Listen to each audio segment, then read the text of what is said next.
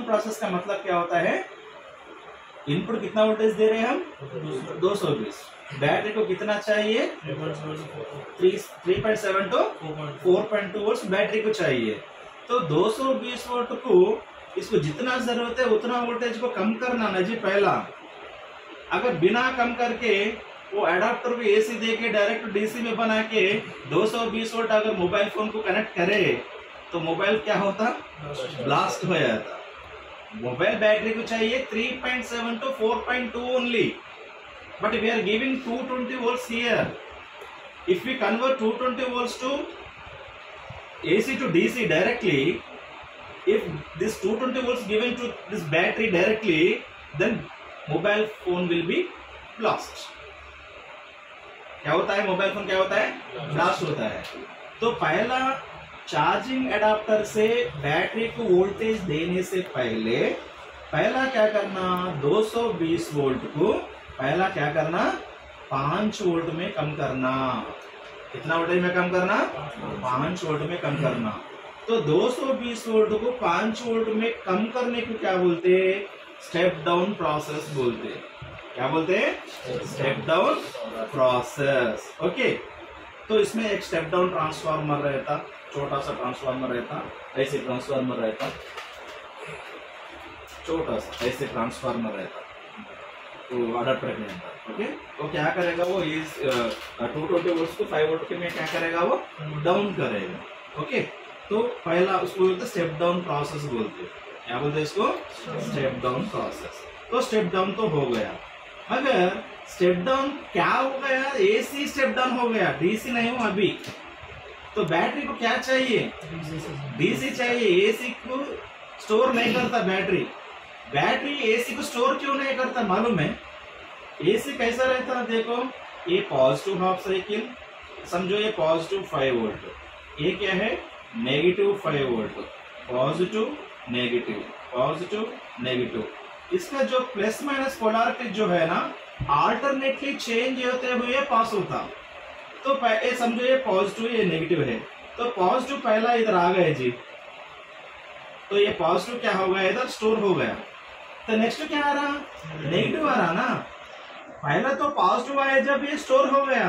तो नेगेटिव आते ही पॉजिटिव फाइव वोल्ट को नेगेटिव फाइव वोल्ट दिए तो क्या होता? ज़ीरो हो जाता ना जी। पहला तो चार्ज हो गया। पॉजिटिव आया जब क्या हो गया? चार्ज हो गया। तो नेगेटिव आया था ना एसी में। तो जब क्या होता है इमीडिएटली क्या होता? डिस्चार्ज होता तो बैटरी के अंदर स्टोर कहाँ होता? इसका मतलब बैटरी में एसी को स्टोर कर सकते एसी बैटरी बोल के किधर तो सुना आप लोग? एसी को बैटरी में स्टोर नहीं कर सकते, किधर भी नहीं करते एसी को। एसी स्टोर होता ही नहीं? क्यों होता ही नहीं?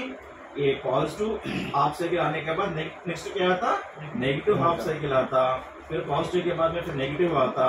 तो प्लस माइनस चेंज होने की वजह से पहला पॉजिटिव हुआ, आ गए जब ये क्या होता? चार्ज होता। नेक्स्ट नेगेटिव आते ही क्या होता?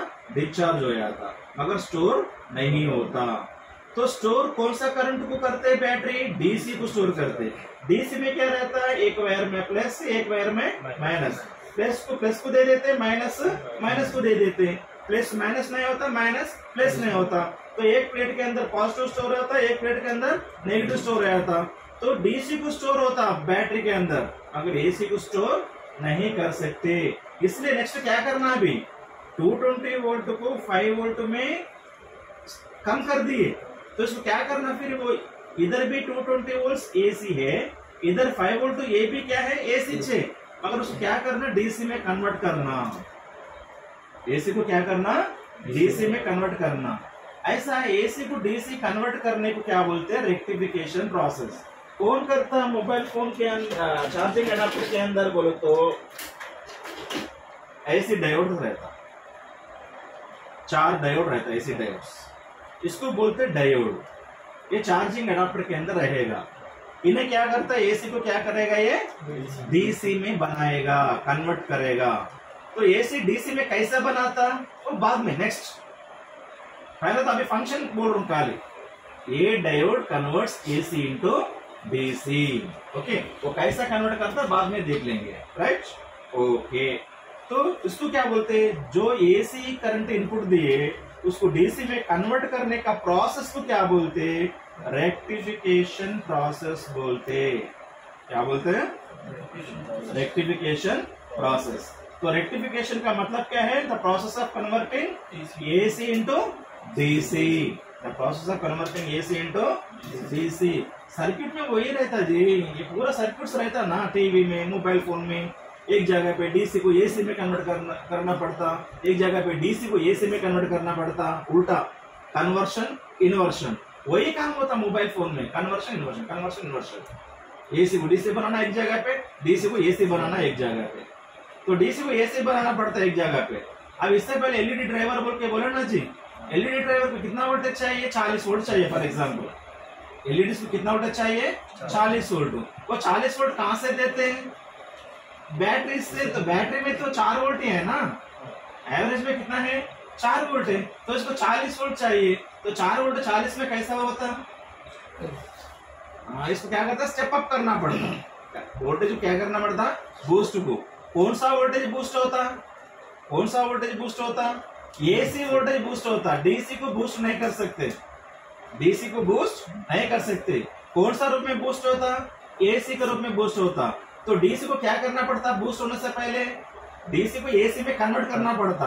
जब बूस्ट होता, फिर वो कन्वर्ट होने के बाद बूस्ट होने के बाद, फिर वो एसी को क्या करना पड़ता? फिर डीसी में कन्वर्ट करना पड़ता। फिर फ़िल्टर करना पड़ता।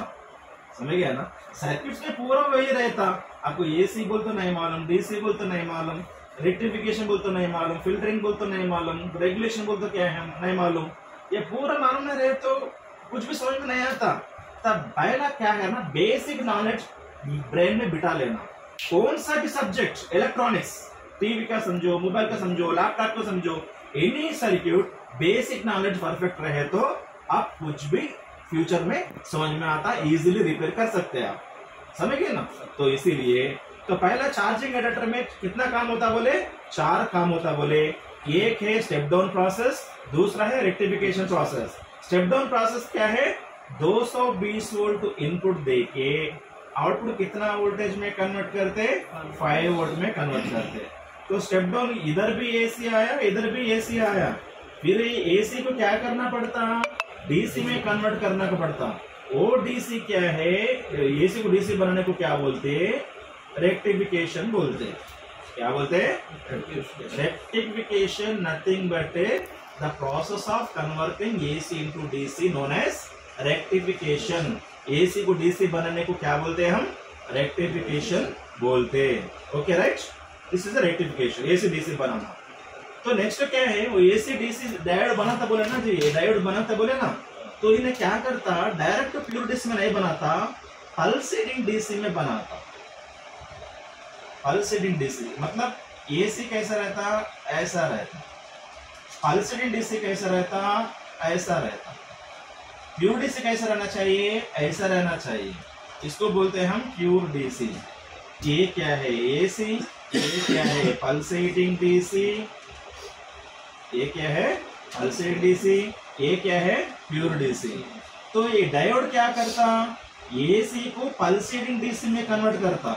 फिर ये पल्सेटिंग डीसी को प्योर डीसी में कन्वर्ट करने वाला कौन है? ये condensers mobile phone charging adapter के अंदर भी क्या रहता? कंडेंसर आ रहता कैपासिटर बोलते देखो। कैपासिटर या कंडेंसर कुछ भी बोलो। कंडेंसर बोलते भी करेक्ट वर्ड है कैपासिटर बोलते भी करेक्ट वर्ड है। इन्हें क्या करता बोले तो पल्सेटिंग डीसी को क्या करता? प्यूर डीसी में कन्वर्ट करता। उसको बोलते हैं हम फिल्ट्रेशन क्या बोलते हैं हम? फिल्ट्रेशन एक एक एक एक प्रोसेस में एक एक वर्ड रहता। अरे फ़िल्टर नहीं हो रहा जी। अरे रेगुलेशन नहीं हो रहा जी। अरे स्टेप डाउन नहीं हुआ जी। अरे स्टेप अप नहीं हुआ जी। एक पूरे टेक्निकल वर्ड्स है। इसका मीनिंग तो मालूम होना चाहिए ना जी। तो स्टेप डाउन का स्टेप डाउन प्रोसेस का मतलब क्या है? 220 वोल्ट को 5 वोल्ट में कन्वर्ट करने को क्या बोलते हैं? Step down process step down करने के बाद एसी को डीसी बनाने को क्या बोलते हैं? रेक्टिफिकेशन प्रोसेस वो पल्सेट डीसी को प्योर डीसी में कन्वर्ट करने को क्या बोलते हैं? फिल्ट्रेशन प्रोसेस फिल्ट्रेशन कौन करेगा? कंडेंसर करेगा। फिल्ट्रेशन कौन करेगा? कंडेंसर करेगा। एसी को डीसी कौन बनाएगा? डायोड बनाएगा। स्टेप डाउन कौन करेगा? ट्रांसफार्मर करेगा। एक एक पार्ट एक एक काम करता। तो कौन सा पार्ट क्या काम करता? वो मालूम हुआ तो ही। अब कुछ फॉल्ट में है तो क्या चेक करना मैं? कायल को चेक करना ट्रांसफार्मर को चेक करना डायोड को चेक करना। बचपन में सीखा था ना जी? कान उनसे सुन सकते? आँख उनसे देख सकते? नाक से स्मेल देख ले सकते ये पूरा बचपन में सिखाते अगर तू नहीं देख पा रहे बोलो तो अगर नहीं देख पा रहे आप तो कौन सा डॉक्टर कंसल्ट करते? ई टी डॉक्टर के पास जाते। सॉरी आई डॉक्टर के पास जाते। अगर नहीं देख सक रहे बोलो तो आँखों से देख सक रहे बोल के अगर तुमको मालूम नहीं हुआ तो नहीं देख सक रहे बोल तो ई एन टी हॉस्पिटल जाते आप तो पागल समझते। अरे आँखों को नहीं आँखों से नहीं देख पा रहे। तो कौन सा डॉक्टर को कंसल्ट करना? आई डॉक्टर को। आई डॉक्टर को। ओके मगर इन्हें कहा जा रहे हैं? ई डॉक्टर के पास जा रहे हैं। तो पागल समझते नहीं? तो इसीलिए करंट बोलते क्या है? करंट को किसमें मापते हैं? वोल्टेज बोलते क्या है? वोल्टेज किसमें मापते हैं? रेजिस्टेंस का मतलब क्या है? वो किसमें मापते हैं? पूरा जानकारी होना ज़रूरी है। Starting starting okay that is called technical terms उसमें तो अभी तो मैं बता रहा हूँ मोबाइल फ़ोन का ब्लैक डायग्राम मोबाइल फ़ोन में पहला सेक्शन कौन सा है? Charging adapter. तो चार्जिंग एडाप्टर में कौन सा कौन सा फ़ंक्शन होता है? ये चार काम होता। एक स्टेप डाउन प्रोसेस होता रेक्टिफिकेशन प्रोसेस होता फिल्ट्रेशन प्रोसेस होता। रेक्टिफिकेशन स्टेप डाउन प्रोसेस मतलब क्या है? हम अडाप्टर को 220 में लगाए तो आउटपुट कितना देता है वो? स्टेप डाउन प्रोसेस में ट्रांसफार्मर 5 वोल्ट को देता। मगर इनपुट भी एसी है आउटपुट भी एसी है। मगर बैटरी को कौन सा चाहिए? डीसी वोल्टेज चाहिए। तो एसी को डीसी बनाने को क्या बोलते हैं हम? रेक्टिफिकेशन बोलते हैं। क्या बोलते हैं? रेक्टिफिकेशन ओके तो एसी को डीसी बनाने को रेक्टिफिकेशन बोलते हैं। मगर वो डायोड क्या करता? है एसी को डीसी में बनाता, मगर प्योर डीसी में नहीं कन्वर्ट करता। उसको बोलते हैं हम पल्सेटिंग डीसी बोलते हैं। तो कैसे कन्वर्ट होता? बाद में नेक्स्ट क्लास है वो। एसी डीसी कैसे बनता? वो डायोड कैसा काम करता? नेक्स्ट क्लास है वो। ओके तो पल्सेट डीसी को प्योर डीसी बनाना को क्या बोलते हैं? फिल्ट्रेशन बोलते हैं। तो कंडेंसर फिल्टरिंग कर रहा एसी को डीसी डायोड कर रहा वोल्टेज को कम करने वाला कौन है? ट्रांसफार्मर ट्रांसफार्मर एक काम कर रहा डायोड एक काम कर रहा कंडेंसर एक काम कर रहा राइट ओके नेक्स्ट क्या है? रेगुलेशन नेक्स्ट क्या है? रेगुलेशन रेगुलेशन का मतलब क्या है? ये चार्जिंग एडाप्टर है जी क्या है ये? चार्जिंग एडाप्टर इसको वोल्टेज कितना दे रहे? 220 वोल्ट दे रहे. कितना वोल्टेज दे रहे आउटपुट कितना आता बोले? 5 वोल्ट आता बोले। कितना वोल्ट आता बोले? 5 वोल्ट आता बोले। इनपुट 220 आए तो आउटपुट 5 वोल्ट आता। तो 5 वोल्ट दिए तो नॉर्मल जितना देर में चार्ज हो ना उतना देर में चार्ज होता। तो बैटरी चार्जिंग होने के लिए कितना टाइम लगता generally one two four hours one two four hours battery charging होने के लिए टाइम लगता। जब 220 वोल्ट इनपुट आए तो जब आउटपुट पाँच वोल्ट आए तो चार्ज होने के लिए एक घंटे से तीन चार घंटे होता फॉर एग्ज़ाम्पल ये 220 से 240 आ गए जी कितना आ गया? 240 आ गया। तो ये पाँच वोल्ट की जगह पे कितना आता? सात वोल्ट आता। इनपुट बढ़ गया आउटपुट भी क्या होता? बढ़ जाता इनपुट कम हो गया। अगर इनपुट फॉर एग्जांपल 200 हुआ तो आउटपुट कितना होता? तीन वोल्ट ही होता। इनपुट कम हो गया तो आउटपुट भी कम हो गया। इनपुट ज़्यादा हो गया तो आउटपुट भी ज़्यादा हो गया।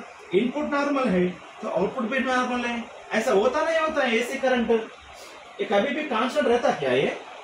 फॉर एग्ज़ाम्पल अभी कितना वोल्टेज है, देखो, मीटर से। ये मीटर है चेक करने का मीटर है ये ओके चलिए, कितना रहना चाहिए? कितना रहना चाहिए? 220 वोल्ट रहना चाहिए। ओके तो कितना आ रहा देखो इधर चेक कर रहा हूँ मैं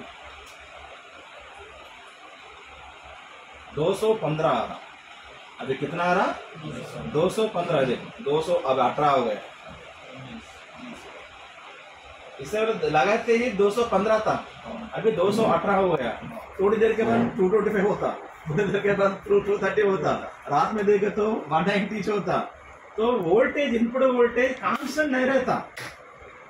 अगर इनपुट वोल्टेज कांस्टेंट नहीं है तो आउटपुट वोल्टेज भी कांस्टेंट नहीं रहता ना जी। ओके तो इसीलिए, अगर क्या होता देखो, अगर इनपुट बढ़ गया तो आउटपुट भी बढ़ जाता। तो क्या होता, दो घंटे में चार्ज होने के बैटरी एक घंटे में चार्ज होता। और अच्छा है ना सर ज़्यादा वोल्टेज दिए तो जल्दी चार्ज होता। और अच्छा है ना ये बात? जल्दी तो चार्ज होता है भाई, मगर बैटरी हीट हो गया बैटरी क्या होता? हीट होता अगर बैटरी हीट हो गया तो मोबाइल मदरबोर्ड हीट हो जाता अगर मोबाइल मदरबोर्ड हीट हो गया, इसके अंदर जो रोम ऐसी रहता ना, वो हीट हो जाता रोम ऐसी के अंदर क्या रहता सॉफ्टवेयर रहता वो सॉफ्टवेयर हीट को क्या होता करप्ट हो जाता जब मोबाइल क्या होता डेड हो जाता और ज़्यादा वोल्टेज आएगा बैटरी ब्लास्ट होने का भी चांस रहता ये पूरा ऐसा नहीं होना बोले तो ये बैटरी को देने का वोल्टेज एग्जैक्टली फाइव रहना चाहिए। इनपुट वोल्टेज ज़्यादा है तो भी फाइव वोल्ट ही आना चाहिए। इनपुट वोल्टेज कम आए तो भी फाइव वोल्ट आए अगर कम आया तो क्या होता देखो इनपुट 200 आया तो आउटपुट कितना आता तीन सौ वोल्ट तो बैटरी चार्ज हो रहा सर का बिल्डअप देते रहता, अगर बैटरी फुल नहीं होता। चार्जिंग अडेप्टर लगाते तुम तो बैटरी चार्जिंग हो रहा बोल के बिल्डअप होता। तो कितने देर के अंदर चार्ज होना चाहिए? एक घंटे से तीन घंटे के अंदर बैटरी फुल होना चाहिए। पर कस्टमर बोलता जब सर, इससे पहले दो तीन घंटे में चार्ज होता था मेरा बैटरी अभी दो दिन लगाओ चार्ज नहीं फुल नहीं हो रहा, सर। कभी भी चार्जिंग अडाप्टर लगाओ चार्जिंग हो रहा, सर बिल्डअप दे रहा, मगर बैटरी फुल हो रहा है नहीं? फिर अडाप्टर निकालते ही पचास में ही रह रहा वो। ट्वेंटी फाइव में ही रह रहा, सत्तर पे भी रह रहा। तो बैटरी वोल्टेज नहीं बढ़ रहा। इसका मतलब क्यों नहीं बढ़ रहा? बैटरी को जितना वोल्टेज चाहिए, उतना सफिशियंट वोल्टेज ये नहीं दे पा रहे। क्यों नहीं दे पा रहे? ये वोल्टेज कम हो गया। तो वोल्टेज कम हो गए तो बैटरी फुल नहीं हो रहा। वोल्टेज ज़्यादा हो गए तो बैटरी ब्लास्ट होने के चांस है मोबाइल हीट होने के चांसेस है। तो ज़्यादा हुआ तो भी प्रॉब्लम है, कम हुआ तो भी प्रॉब्लम है। तो क्या करना जब कांस्टेंट वोल्टेज देना? तो ये एडाप्टर इनपुट वोल्टेज 110 वोल्ट से लेके 240 वोल्ट तक जितना भी आने दो आउटपुट एग्जैक्टली पाँच वोल्ट देता। ऐसा पाँच वोल्ट कांस्टेंट रखने के लिए क्या बोलते हैं? रेगुलेशन बोलते हैं। सार के पास चार्जिंग अडाप्टर दे बोले, एक चार्जिंग, मोबाइल का चार्जिंग अडाप्टर दे बोलो। वोल्टेज दे दो इनपुट वोल्टेज तो आउटपुट वोल्टेज कितना आ रहा? दो सॉरी कितना आ रहा? पाँच वोल्ट आ रहा। वो रेंज रहता। वन टेन से दो सौ चालीस के बीच में जितना भी आने दो आउटपुट वोल्टेज को कैसा रखता? कांस्टेंट रखता। ऐसा कांस्टेंट मेंटेन कैसा होता? कौन सा सर्किट क्या कर एस बोलते हैं, स्विच मोड पावर सप्लाई वो कैसा काम करता है अडाप्टर के अंदर? पावर ये टीवी का पावर सप्लाई भी एस है मोबाइल चार्जिंग अडाप्टर भी एस है। समझे ना? हर पावर सप्लाई मैक्सिमम एस रहता। तो वन टेन वोल्ट से लेकर दो सौ चालीस यहाँ देखो यहाँ लिखा है देखो। इनपुट वोल्टेज 110 से लेकर 240 वन टेन वोल्ट से लेकर 240 ये लिखा है नहीं? ऐसा 110 से लेकर 240 तक जितना भी आने दो, मैं आउटपुट कितना देता हूँ बोल रहा हूँ? फाइव वोल्ट देता हूँ बोल रहा हूँ। Five volt two point four ampere voltage five volt देता हूँ बोल रहा हूँ। एम्पियर कितना देते बोल रहे टू पॉइंट फोर एम्पियर देता हूँ बोल रहे तो वोल्टेज के बारे में बात करेंगे हम। तो कितना वोल्ट आया था? हंड्रेड आने दो फाइव वोल्ट देता। एक सौ पचास आने दो फाइव वोल्ट देता। तो दो सौ आने दो फाइव वोल्ट देता। तो ऐसा ये वन से लेकर दो सौ चालीस के अंदर जितना भी वोल्टेज आने दो आउटपुट वोल्टेज कैसा रख रहा है कांस्टेंट रख रहा है उसको ऐसा कांस्टेंट रखने को क्या बोलते हैं हम? रेगुलेशन क्या बोलते हैं हम? रेगुलेशन तो word different different words step down process बोलते अलग है। इनपुट वोल्टेज 220 वोल्ट को हमको जितना ज़रूरत है, उतना वोल्टेज को कम करने को क्या बोलते हैं? स्टेप डाउन प्रोसेस एसी को डीसी बनाने को क्या बोलते हैं? रेक्टिफिकेशन प्रोसेस पल्स डीसी को प्योर डीसी बनाने को क्या बोलते हैं? फिल्ट्रेशन प्रोसेस इनपुट वोल्टेज कम भी होने दो, ज़्यादा भी होने दो आउटपुट वोल्टेज कांस्टेंट रखने को क्या बोलते हैं? रेगुलेशन प्रोसेस तो रेगुलेशन होना ज़रूरी है कि नहीं? अगर एडाप्टर के अंदर रेगुलेशन नहीं हो रहा तो इनपुट कम हुआ तो आउटपुट ज़्यादा होता इनपुट ज़्यादा हो गया तो आउटपुट भी ज़्यादा होता. इनपुट कम हो गए तो आउटपुट कम होता. इनपुट ज़्यादा हो गए तो आउटपुट भी क्या होता? ज़्यादा होता. ऐसा हुआ तो क्या होता? प्रॉब्लम हो रहा ना? बैटरी जल्दी चार्ज होता हीट होता बैटरी लेट चार्ज होता, ऐसा चार्ज होता ही नहीं। कम वोल्टेज दे तो बैटरी को कितना वोल्टेज चाहिए? 4.7 से 5 वोल्ट चाहिए ना चार्ज करने के लिए। सर 4.2 से। ओके तो अब तीन वोल्ट दिए तो चार्जिंग होता क्या? आपका पेट 200 ग्राम खाते भाई, एक एक टाइम पे। कितना खाते 200 ग्राम खाते हैं। सौ ग्राम खिलाए तो आपका पेट भरता क्या?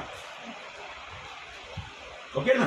तो बैटरी को चाहिए 4.2 से 5 वोल्ट तक देना चाहिए चार्ज होने के लिए।